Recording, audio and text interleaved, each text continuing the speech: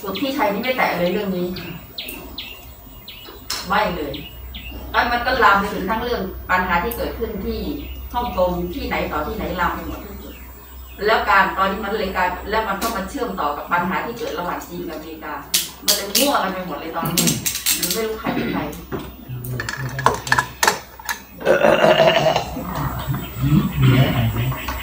ย่างไป อะไรนะ มันย่างไปอะ อื มมันเพราะว่ารอบนี้มันสู้ยากมากเลยเพราะว่าสื่อมันมีทุกซอกทุกมุมแต่ก่อนมันปิดทีวีมันก็จบเลยแต่ตอนนี้มันไม่จบอะยูทูบข่าวทุกชนิดมันทะลักได้ทุกจุดเลย และคนรุ่นเก่ารุ่นสี่สิบตุลาก็ลุกขึ้นมาสู้อีกแบบหนึ่งแล้วก็โอ้โหก็ก็ได้ผสมเรื่องเป็นแบบอย่างที่เราเรามาให้ฟังถึงอย่างไรประเทศไทยก็มีแกนเจโตอยู่มากกว่าพวกที่จะมาคิดเปลี่ยนแปลงเป็นเปลือก ตรงกระทั่งเปลือกมันกลายเป็นสะเก็ดตกไปสะเก็ดแล้วสะเก็ดเล่า เพราะฉะนั้นแกนเจโตถึงอยู่ได้ใช่ไหมครับว่าท่านปัญหาของประเทศไทย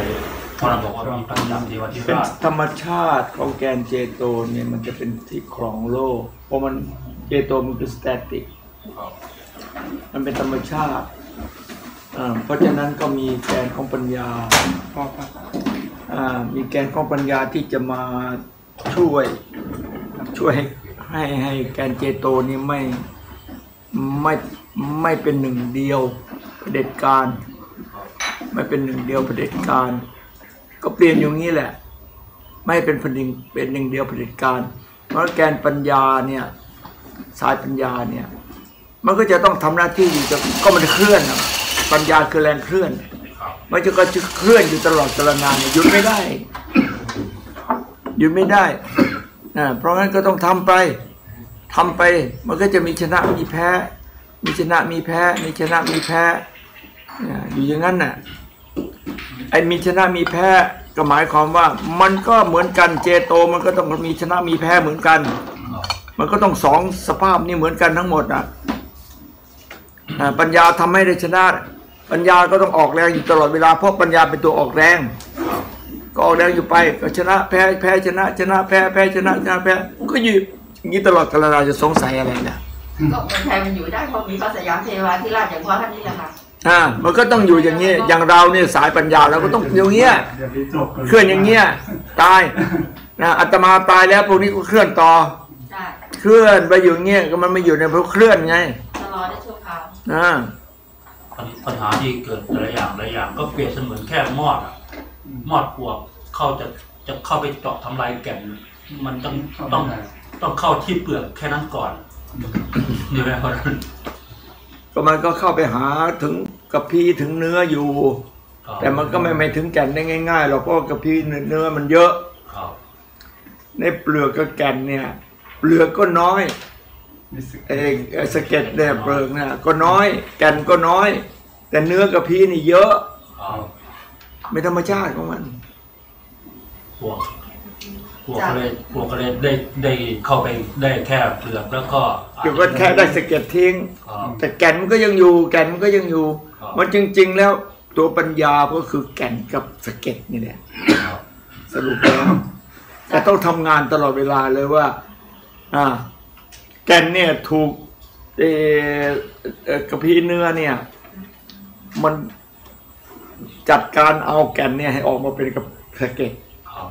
เสร็จแล้วก็ตกไปครับสะเก็ดหายไป ก็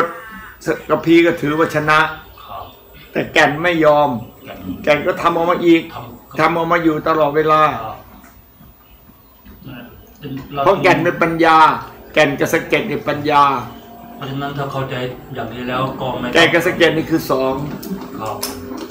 พวกหนึ่งก็คือพวกเทวานิยมพวกเจโตหนึ่งปัญญานี่คือสองตลอดเวลา อยู่อย่างนั้นน่ะมันก็เคลื่อนอยู่ตลอดเวลาต้องทำงานอยู่ตลอดเวลาวนอย่างเงี้ยเราจึงไม่ต้องกังวลเรื่องพวกมอดเจาะใช่มันต้องเป็นธรรมชาติอย่างนี้เราก็เราก็เข้าใจแล้วเราก็ไม่มีปัญหาดิดิฉันก็เลยจะแล้วก็ต้องทำดิฉันก็เลยจะถือโอกาสประมวลภาพรวมความแตกต่างของของความรู้ที่เรียกว่า ปัญญากับเชโกเนี่ยนะคะ เป็นความขัดแย้งในทุกระดับทั้งในเรื่องของผลประโยชน์ลาภยศสรรเสริญโลกียสุข รวมทั้งอัตตา แล้วก็ไล่ลงมาถึงการแปลความตีความที่แตกต่างกันทางประวัติศาสตร์ทั้งที่เกิดขึ้นโดยเจตนาไม่เจตนา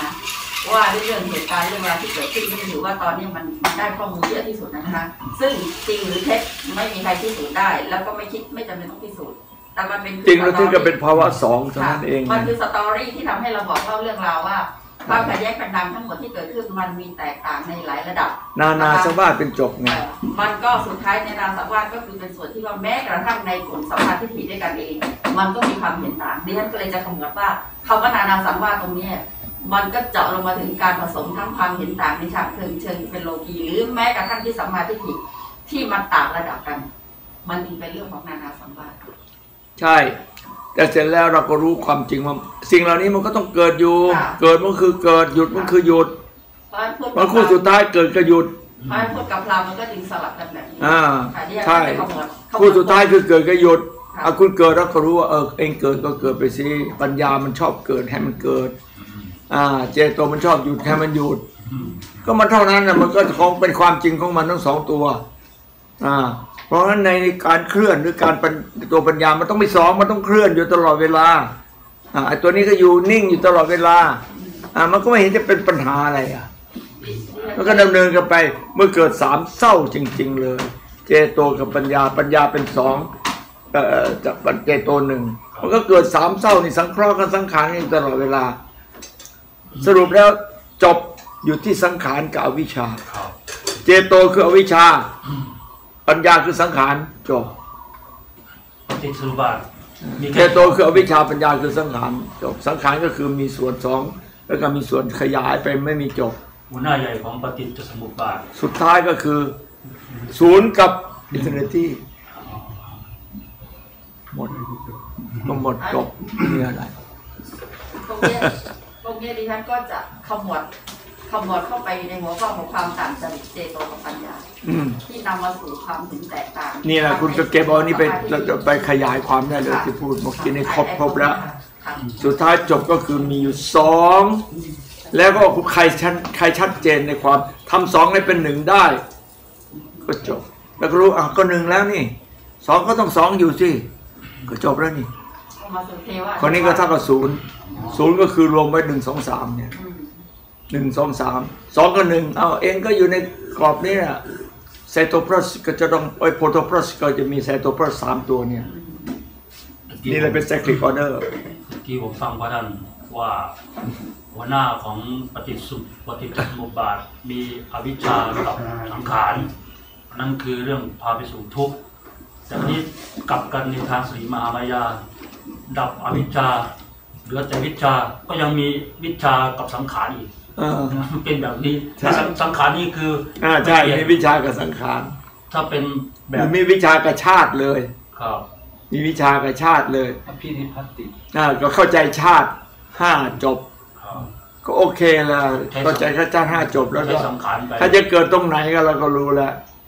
ครับคุณจะเกิดฝ่ายที่ชาติสัญชาติโอกันติ คุณก็โง่กันอยู่ตรงกลางเนี่ย ตรงโอกันติเนี่ย ถ้าพูดชัดเจนแล้วก็เออทำให้มันเป็นนิพพัติเป็นอภินิพพัติก็จบแล้วฝ่ายที่ยังไม่จบเอาก็คุณก็ยังไม่จบสิเราก็ชัดเจนแล้วนี่ก็ไม่ต่างคนอ่าตกลงคุณกับเราเป็นคนละฝ่ายความเห็นที่ต่างกัน ก็จบแล้วนะนาสังวาก็จบแล้วนี่เราก็ไม่ได้สงสัยอะไร ก็คุณก็ต้องเป็นอย่างคุณเป็นน่ะ เราก็เป็นอย่างเราเป็น โลกนี้มีสองเพราะมันต้องมีจิตวิญญาณธาตุรู้กับอีกสิ่งหนึ่ง เราเป็นธาตุรู้ที่มีอีกสิ่งหนึ่งแต่คุณไม่มีความรู้ คุณก็ไม่รู้ คุณก็หมุนของคุณก็ตื้อของคุณอยู่งั้นน่ะ หมุนอยู่ในตัวเองตื้ออยู่งั้นน่ะสังขารเหมือนกันแต่สังขารเหมือนกันแต่คุณก็สังขารความมืดเราสังขารความสว่างครับจะมีสิทธิ์มาสมานสังวาสได้นะก็สโดนนาสังวาสไงสังวาสเทวทัตสมานสมานเนี่ยคือตรงนานาสังวาสไงก็บอกว่าต้องรู้ความจริงเป็นนานาสังวาส เพราะนานาสังวาสเนี่ยพระพุทธเจ้าถึงมีเหตุปัจจัยเอาไม่ใช่มีเหตุมีหลักเกณฑ์เลยว่า ด่าก็ได้เต็มที่เลยปฏิปฏิโฆษณาได้ แต่อย่าฟ้องร้องอย่าให้เกิดคดี ไอ้กระทบกระเทือนทางด้าน มีแต่ปากหอกอย่างเดียวครับปปฏิโฆษณานี่คือปากห้ามตั้งคณะกรรมการมาสอบทิ่มแทงกันด้วยปากห้ามเอาเรื่องห้ามไปเอาให้ไปแตะร่างกายกันให้เจ็บปวด แล้วก็มีการฟ้องร้องไมันไม่ได้ มันได้แต่แค่ทิ่มแทงกันด้วยปากของ ปากไปสั่งให้ไปฆ่าอะไรเงี้ยก็ไปที่เอาข้ามันเนี่ยละลายก็เขาปากเปล่าอะโอ้ยจะจ้างไงฮะทำลายหมดเลยอ่าก็มีแต่ปากเปล่าไปก็จ้างคุณจะปากของยังไงก็ปากของไปคือปากคุณมันมีอะไรออกปากนี่คือห้ามห้ามด่านั่นเองด่าถ้าด่าถ้าด่านี่มันอีกคำหนึ่งก็พอได้พยัญชนะเออด่ามันคือพยัญชนะตอนนั้นคุณตีความเอาเองที่จริงก็ว่าคุณแรงๆนั่นแหละว่าคุณหยาบๆไปแหละอ่า คุณจะแปลเองว่าด่าอ้าว